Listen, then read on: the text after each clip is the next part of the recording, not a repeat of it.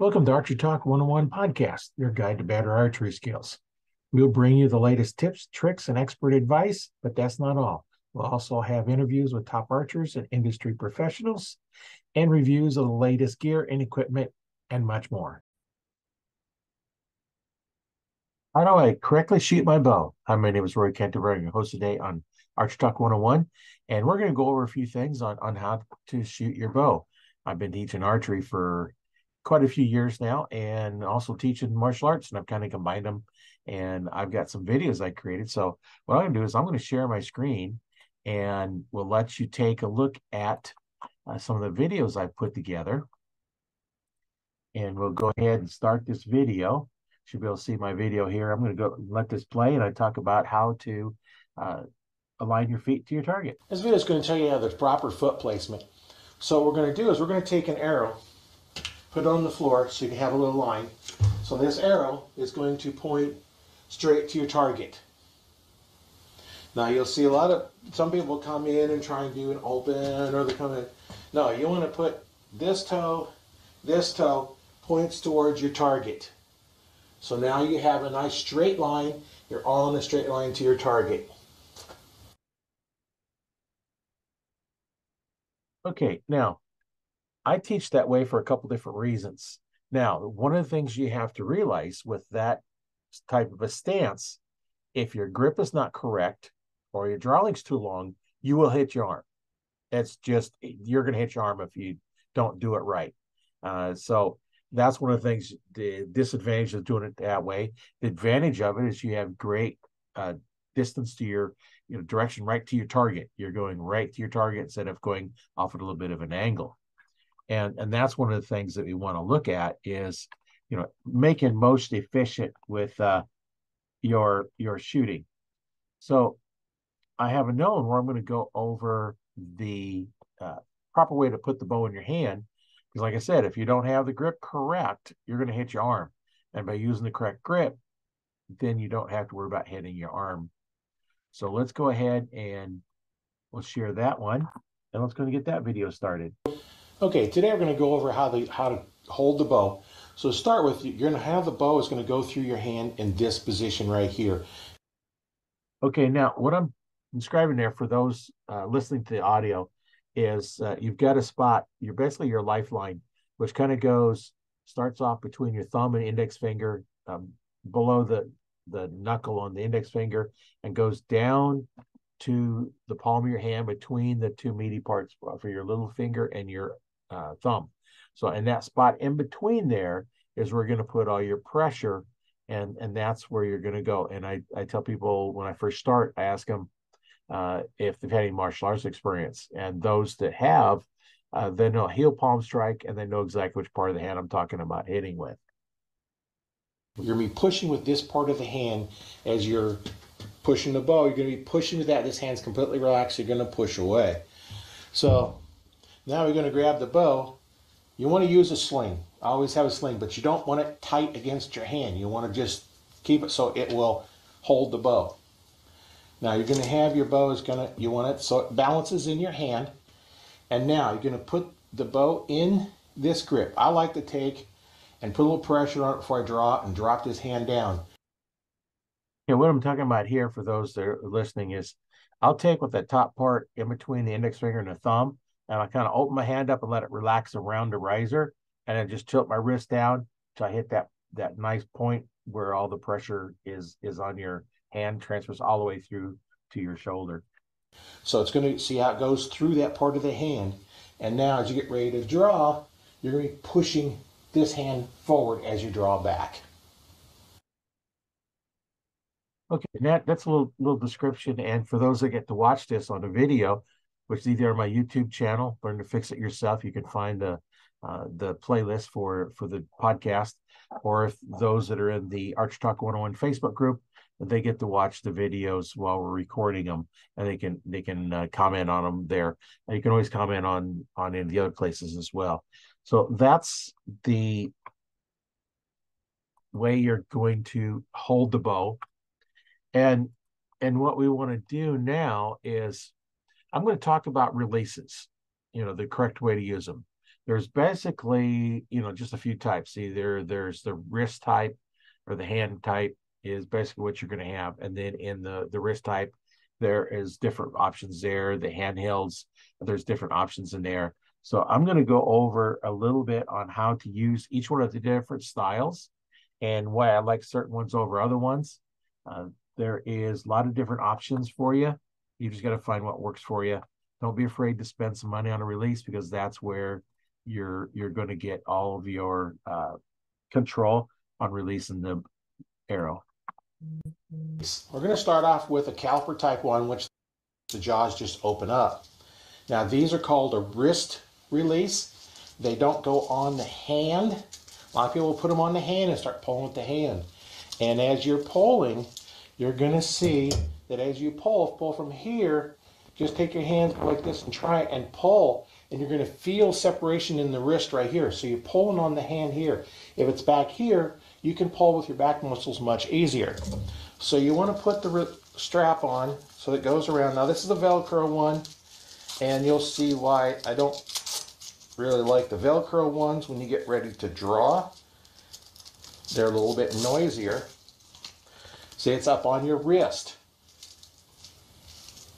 I don't know if you can hear that or not, but that Velcro is tightening up and making a noise. So if you get ready to draw your bow, you're going to draw back and you're going to have that noise.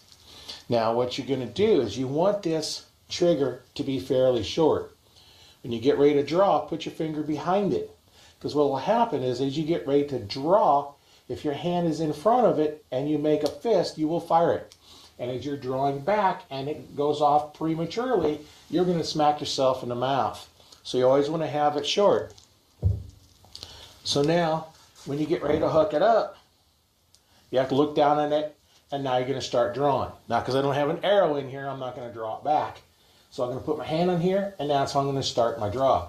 So that's how you use one of these type. Now, you, you got the pros and cons. If you have this out firing at the tip of the finger, you're, you're going to have a tendency to want to pull the trigger that'll cause target panic. So now let's go with a different style one.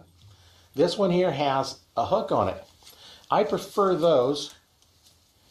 Has has the little hook on it like this. You pull the trigger, it just opens up instead of the jaws opening up. So now you're going to put this on. It takes a while sometimes to get the hang of putting these things on. You're going to put this on and you want it there again around your wrist. There's a little spot right here that holds it. So now you're pulling, you pull from the, your back muscles. Now this one here, nice thing about this one is when you have your bow, I don't have to look at it to hook it up. I can find the loop and I can hook it up. Now there again, you don't want your finger in front because if you have your finger in front, make a fist, it's going to release on you. So that's why if your finger's behind, you're not going to be apt to pull the trigger and smack yourself in the mouth. Now, on to another type is one that you hold in your hand. They call them a thumb release because everybody likes to cue them wrong and just pull the trigger this way. That's worse than using your index finger because there's less dexterity in the thumb. The way these are supposed to be used is now this one has jaws like the uh, uh, the first one I showed you. You're going to hook it on here. Nice thing about these, you can leave them hanging on the bow. You're going to grab it when you pull it back. You want that trigger back here on your thumb, not here, not out here, back here. Because now as you pull, it will release. So back here, as you come back, and you're going to release by just rolling your hand, using your back muscles to pull that back. Okay, see how that works? Now, this one has a lot of movement in that trigger. See how much movement that is before that jaws open up? When you feel that, when you're shooting with back tension, you're going to feel that. Now, let's look at this one. This is a, uh, um, a chocolate addiction. Carter. See how much that moves? Almost can't tell it's moving. So this one here, You're going to hook around here like this. And when you're out hunting, you just come down, you have, you know, where the release is. Now, these aren't really beginner releases. So you still want to put your finger here, but I can take my thumb and I can put all the pressure I want on this part of it. Now, this part that I'm talking about there is the very tip where your your your pad on your thumb is. You can put pressure on there, and you're still not going to squeeze on the trigger. And it won't fire because it's back here. So as you're pulling, it's going to come off. Now, if you notice, as I get ready to fire this, how much movement is in my hand? Almost none. So that's how to use the release. Yeah. So that quite a bit of information here to, to work through. So you just want to take a look at, you know, what type of release. You know, I say the uh, there's another type that I don't have. That's actually a, a back tension release where there is no trigger at all. Uh, those are even harder to to to work out because those, as you're drawing them back, you actually have to tilt them forward, like your little finger points forward as you draw back, because the process of pulling them, actually that little finger actually is is coming back, and that will just break that hinge open. There is no safety on those. Uh, the same thing with the the one I was using here is you got to keep your thumb off that trigger because you put your thumb on that trigger as you're pulling back, put a little strain on it, it can fire. Uh, where the the trigger type ones, you're you're going to have uh, your finger behind it, so you can't accidentally pull the trigger. So that's the basic uh, three, or actually two styles. But uh, the calipers and the wrist strap is, uh, uh, you know, I'm not as fond of those because you can't just hook those up as easily without looking at them. And while I'm hunting, I don't want to look down at my bow, hook my release up, and look back up. I want to be able to find the loop or find a release while I'm still looking at the animal because if they're moving, uh, you don't want to be looking somewhere else because too many times you go look somewhere else, look back, and they're looking at you, caught your movement. So that's one of the things that uh, you know I think about when I'm out there, as well as the Velcro. Uh, the Velcro, some of them are better than others, but I've had Velcro with a whole whole Velcro lost grip. But can you imagine completely no sound?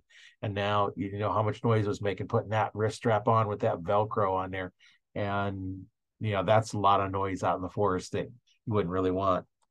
Now for those that are going to use a wrist strap make sure it's on your wrist like you wear your watch. Uh, you wear your watch past those little little bones at the end of the arm.